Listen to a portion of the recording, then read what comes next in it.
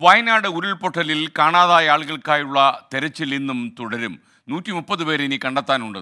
ആറ് മേഖലകൾ കേന്ദ്രീകരിച്ചാകും ഇന്നും തെരച്ചിൽ നടത്തുക. അതിനിടെ ഉരുൾപൊട്ടൽ ബാധിത പ്രദേശങ്ങൾ മുതിർന്ന ഭൗമശാസ്ത്രജ്ഞൻ ജോൺ മത്തായിയുടെ നേതൃത്വത്തിലുള്ള വിദഗ്ധ സംഘം ഇന്ന് പരിശോധിക്കുമെന്നറിയുന്നു ദീപക് ധർമ്മടം ഷഹദ് റഹ്മാൻ എന്നിവർ നമുക്കൊപ്പം ചേരുകയാണ്. ആദ്യം ഷഹദ് റഹ്മാനിലേക്ക് ഇന്നത്തെ തെരച്ചിലിനെ കുറിച്ചാണ് ചൂരൽമലയിൽ നിന്നും ഷഹദ് റഹ്മാൻ നമുക്ക് നമ്മോട് റിപ്പോർട്ട് ചെയ്യാൻ പോകുന്നത്. Shahad Rahman and Deepak good morning. Shahad ചൂരൽമലയിലും മറ്റുള്ള പ്രദേശങ്ങളിലും ഇന്ന് തെരച്ചിൽ എങ്ങനെയായിരിക്കും? വിവരങ്ങൾ.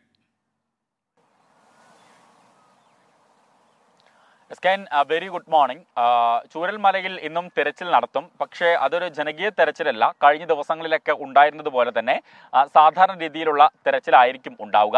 ഫയർഫോഴ്സിന്റെയും അതുപോലെ തന്നെ എൻ ഡി ആർ എഫിന്റെയും പോലീസിന്റെയും ഒക്കെ നേതൃത്വത്തിലായിരിക്കും തിരച്ചിൽ നടത്തുക.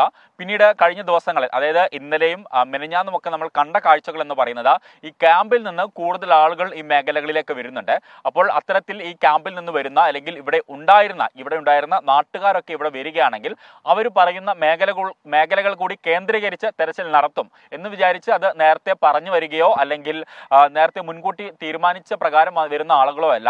അല്ലാതെ അവരവരുടെ ഭൂമി അല്ലെങ്കിൽ അവർ നിന്നിരുന്ന സ്ഥലം കാണാൻ വേണ്ടിയിട്ട് വരുന്ന ആളുകളാണ്. അപ്പോൾ അവർ വന്ന് അവർ ഏതെങ്കിലും സ്ഥലത്തിൽ സംശയങ്ങൾ പ്രകടിപ്പിക്കുകയോ അല്ലെങ്കിൽ ഏതെങ്കിലും സ്ഥലം തിരയണമോ എന്നൊക്കെ പറയുകയാണെങ്കിൽ ആ മേഖല കൂടി തിരയും എന്നുള്ളതാണ് ഏറ്റവും പ്രധാനപ്പെട്ട കാര്യം. അപ്പോൾ ഇന്നും എട്ട് മണിയോട് കൂടിയൊക്കെ തന്നെ ഇവിടെ തെരച്ചിൽ ആരംഭിക്കും എന്നുള്ളതാണ് നമുക്ക് ഇപ്പോൾ മനസ്സിലാക്കാൻ സാധിക്കുന്നത്. ഇപ്പോൾ നിലവിൽ ഇവിടെ ആരും തന്നെ ഇല്ല. കുറച്ച് പോലീസുകാർ മാത്രമേ ഉണ്ടായിരുന്നുള്ളൂ. അപ്പോൾ അവർ ഇപ്പോൾ ഇവിടെ നിന്ന് പോയിട്ടുണ്ട്.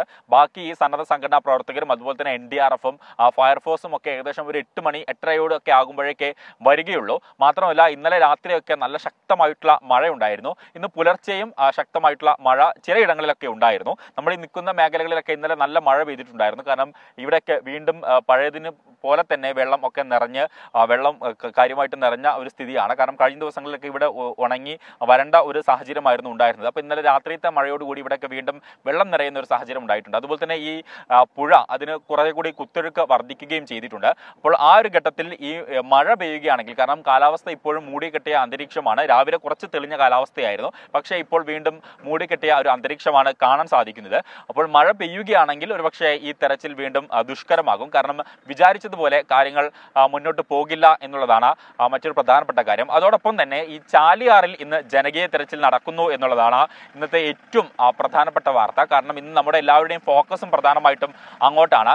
കാരണം കഴിഞ്ഞ ദിവസങ്ങളിലൊക്കെ തന്നെ ശരീരഭാഗങ്ങൾ കൂടുതലായിട്ട് കണ്ടെത്തിയിട്ടുള്ളത് ചാലിയാർ മേഖലകളിൽ നിന്നാണ്. അപ്പോൾ ഈ ചാലിയാറിൽ ഇന്ന് ജനകീയ തിരച്ചിൽ നടത്തുന്നു എന്നുള്ളത് ഏറ്റവും പ്രതീക്ഷയോട് കൂടിയിട്ടാണ് നമ്മൾ നോക്കിക്കാണുന്നത്. കാരണം ഇനിയും നമുക്ക് കണ്ടെത്താനുള്ളത് നൂറ്റി മുപ്പത് പേരെയാണ്. ഔദ്യോഗികമായിട്ടുള്ള കണക്കാണ്. പക്ഷേ അനൗദ്യോഗികമായിട്ട് അതിൽ കൂടുതൽ ആളുകളെ ഇനിയും കണ്ടെത്താനുണ്ട്. അപ്പോൾ നൂറ്റി മുപ്പത് എന്നുള്ള ഒരു സംഖ്യയിൽ നിൽക്കുമ്പോൾ ആ നൂറ്റി മുപ്പത് പേർക്കായിട്ടുള്ള തെരച്ചിൽ ഇന്ന് വ്യാപകമാക്കും എന്നുള്ളതാണ്. അത് പ്രധാനമായിട്ടും ഈ ചാലിയാർ മേഖലകൾ കേന്ദ്രീകരിച്ചായിരിക്കും. അതുപോലെ തന്നെ ഇന്ന് അഞ്ചംഗ ഭൗമ സംഘം ഇവിടേക്ക് വരുന്നു എന്നുള്ളതാണ് അവർ ഈ മേഖലയൊക്കെ പരിശോധിച്ച വിശദമായിട്ടുള്ള ഒരു റിപ്പോർട്ട് സർക്കാരിൽ സമർപ്പിക്കുകയും ചെയ്യും. S K. ഓക്കെ ചൂരൽമലയിൽ നിന്നും ഷഹദ് റഹ്മാനാണ് വിവരങ്ങൾ നൽകിയത്.